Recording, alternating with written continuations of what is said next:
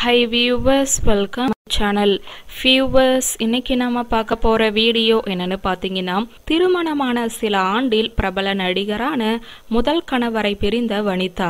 இரண்டாம் கணவரை விவாகரத்து செய்தது ஏன்? அதை பற்றி பார்ப்போம்.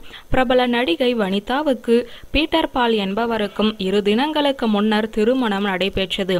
வனிதாவுக்கு இது மூன்றாவது திருமணம் ஆகும். முப்பத்தி ஒன்பது வயதான வனிதா கடந்த இரண்டாயிரம் ஆண்டு செப்டம்பர் மாதம் பத்தாம் தேதி நடிகர் ஆகாஷை முதலாவதாக திருமணம் செய்து கொண்டார். சமுத்திரம் தாமிரபரணி பாண்டவர் பூமி போன்ற திரைப்படங்களில் நடித்து பிரபலமானவர் ஆகாஷ். இந்த தம்பதிக்கு விஜய ஸ்ரீஹரி என்ற மகனும் ஜோவிதா என மகளும் உள்ளனர்.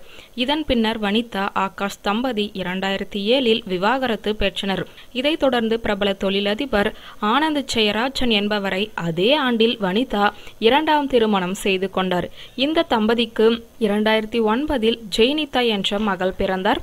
இதன் பின்னர் கருத்து வேறுபாடு காரணமாக பிரிந்த வனிதா ஆனந்த் தம்பதி விவாகரத்து கோரி நீதிமன்றத்தை நாடினர். இதைத் தொடர்ந்து இரண்டாயிரத்தி பனிரெண்டில் இருவருக்கும் நீதிமன்றம் விவாகரத்து வழங்கியது.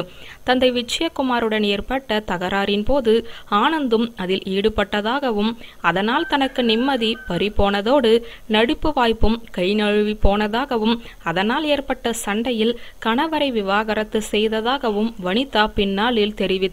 இதையடுத்து பிரபல நடன இயக்குனர் ராபர்ட்டுடன் கடந்த இரண்டாயிரத்தி பதிமூனில் டேட்டிங்கில் இருந்தார் வனிதா. இருவரும் சேர்ந்து ஒரு திரைப்படத்தை இயக்கி தயாரித்தனர். இரண்டாயிரத்தி பதினேழில் இருவரும் பிரிந்தார்கள். இதன் பின்னர் விஎஃப்எக்ஸ் இயக்குனர் பீட்டர் பாலுடன் காதல் வயப்பட்ட வனிதா அவரை கடந்த இருபத்தி ஏழாம் தேதி திருமணம் செய்து கொண்டார். ஃபியூவர்ஸ் இந்த வீடியோ உங்களுக்கு பிடித்திருந்த லைக் பண்ணுங்க கமெண்ட் பண்ணுங்க ஷேர் பண்ணுங்க. இது போன்ற மேலும் பல இன்ட்ரெஸ்டிங் சின்னத்திரை வீடியோஸ் பார்க்க எங்கள் சேனலை சப்ஸ்கிரைப் பண்ணுங்க. நன்றி.